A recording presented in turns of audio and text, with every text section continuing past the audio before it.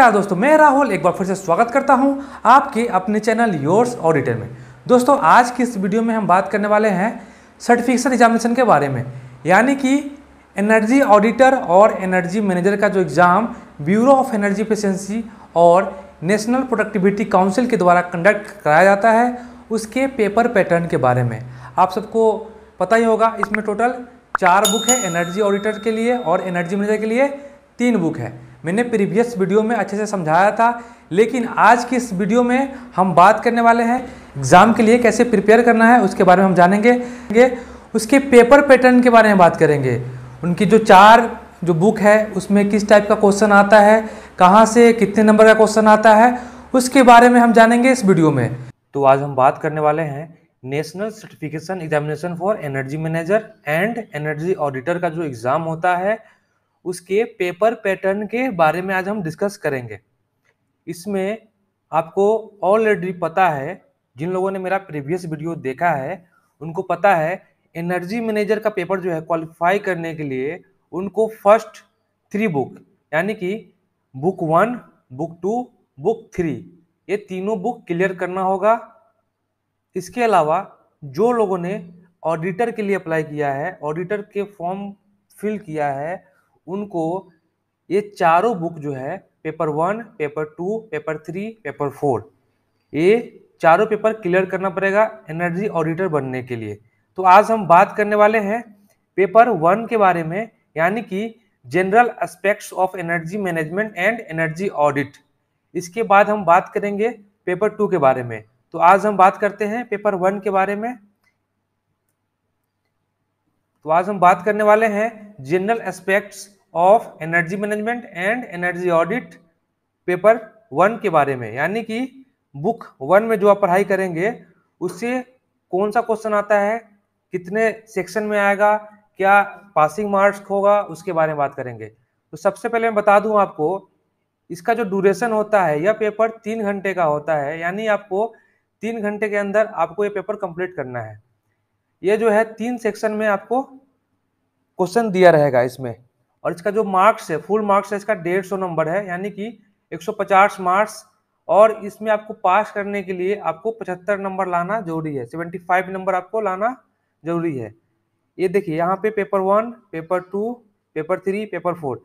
यानी paper one मतलब क्या हो गया? पेपर वन मतलब पेप, बुक वन से जो क्वेश्चन आएगा वो पेपर वन के लिए आएगा बुक टू से जो क्वेश्चन आएगा पेपर टू के लिए आएगा बुक थ्री से जो क्वेश्चन आएगा, पेपर थ्री के लिए आएगा।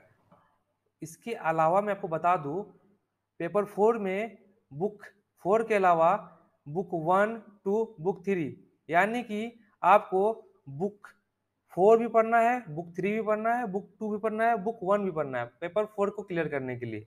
क्योंकि पेपर फोर में इन सारे किताबों से क्वेश्चन पूछा जाता है, और जो आपका पेपर फोर होता है, वह ओपन बुक एग्ज़ाम होता है। यानी कि पेपर फोर में आप अपना बुक लेके जा सकते हैं और बहुत सारे लोगों ने कमेंट किया था कि इसमें कैलकुलेटर अलाउ है कि नहीं है। तो भैया इसमें कैलकुलेटर अलाउ है मैं पहले ही बता चुका हूँ कमेंट में लेकिन आप जान लीजिए जिन लोगों को डाउट आगे रहेगा तो वो समझ जाए कि इसमें आपको कैलकुलेटर अलाउ है लेकिन साइंटिफिक कैलकुलेटर जो है वो अलाउ है। तो इसी के साथ अब हम देखेंगे पेपर वन का पैटर्न क्या है। देखिए, यहाँ पे एक में प्रीवियस जो क्वेश्चन है, उस पर हम आपको समझा रहे हैं कि इसमें कौन कौन से सेक्शन है और कितने नंबर का आता है। तो यहाँ पे आप देख रहे होंगे पेपर वन कोड ग्रीन इसमें जो है पेपर जो है, इसका जो कोड है ग्रीन का है। इसके अलावा इसमें पिंक भी आता है। यानी कि इसमें दो तीन तरह का क्वेश्चन आता है। क्वेश्चन सेम रहता है, सिर्फ़ इसका जो नंबर है वन, टू, थ्री, फोर, ये सब चेंज होगा आपको, है ना?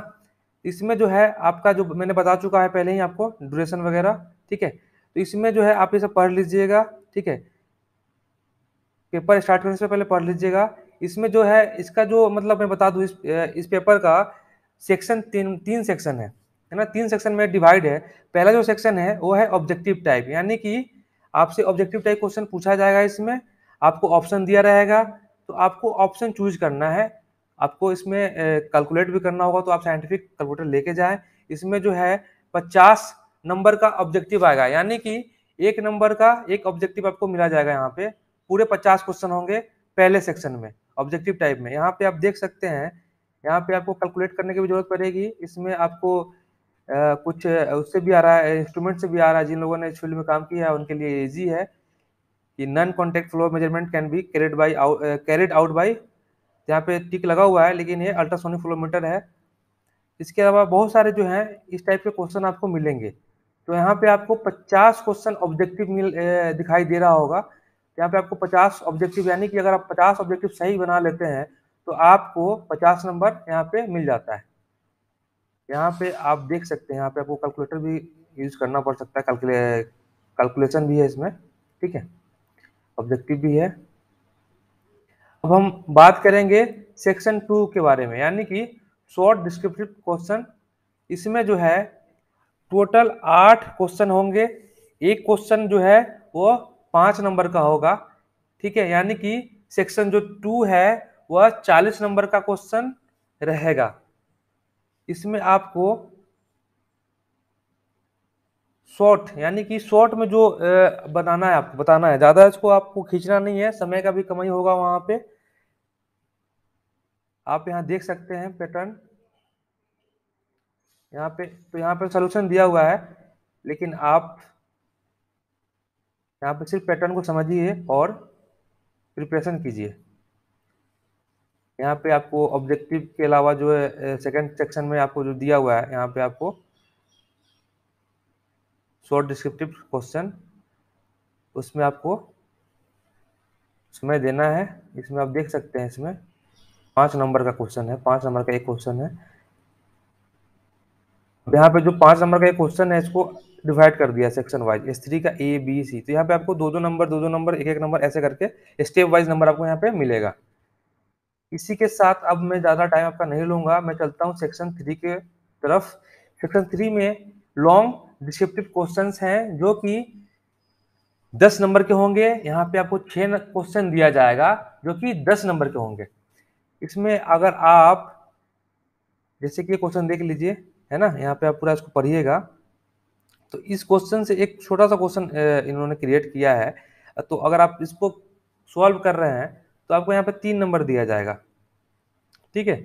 यहाँ भी आपको स्टेप मार्क दिखाई दे रहा होगा। ठीक है, ये देख सकते हैं आप यहाँ पे। यहाँ पे सात नंबर का ये आ गया।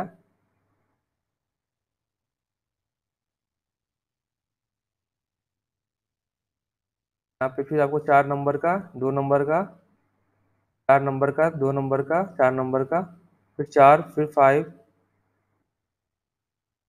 फिर पाँच नंबर, फिर तीन नंबर, फिर दो नंबर।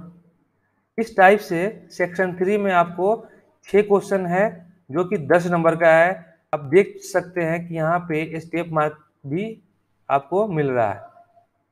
तो यहाँ पे आप आज समझ गए पेपर वन के बारे में। पेपर वन के बारे में अब आपको क्लियर हो चुका है। नेक्स्ट वीडियो में हम बात करेंगे बुक टू यानी कि पेपर टू का जो क्वेश्चन पैटर्न है, वो कैसा है? और जिन लोगों को टॉपिक जानना है कि बुक वन में कौन कौन से टॉपिक आते हैं। मैं नीचे डिस्क्रिप्शन में अपने पुराने वीडियो का लिंक डाल दूँगा। वहाँ से आप जान सकते हैं कि आपको कौन से कवर करना है टॉपिक तो दोस्तों, इसी के साथ आज का जो सेशन है, आज का जो वीडियो है, मैं उसको यहीं पे समाप्त करता हूँ। फिर मिलूँगा नेक्स्ट वीडियो में। आपका जो डाउट है, आपका जो जो भी आपका क्वेश्चन रहेगा, उसके रिगार्डिंग वीडियो आपको फिर मिलेगी। तब तक के लिए मुझे इजाज़त चाहिए, लेकिन जानने से पहले मैं बोलना चाहूँगा जिन लोगों को वीडियो अच्छा लगा हो, वीडियो को लाइक करें शेयर करें और सब्सक्राइब करें। फिर मिलूँगा नेक्स्ट वीडियो में।